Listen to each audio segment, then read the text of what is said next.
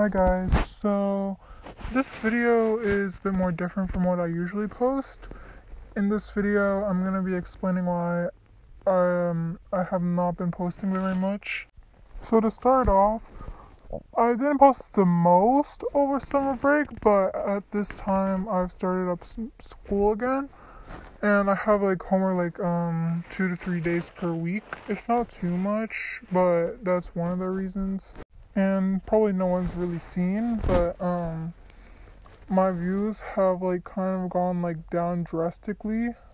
Like I barely even like get 100 views on my shorts anymore and like rarely ever 1k. And due to that, um I've lost a lot of motivation to edit and post because like that was one of the biggest things to keep me going. And with the loss of views, um I have not been getting a lot of subscribers. Like I've been stuck at like 1.67k for like four months now or something. So in summary, I just started up school, so I haven't had very much time to edit because of that.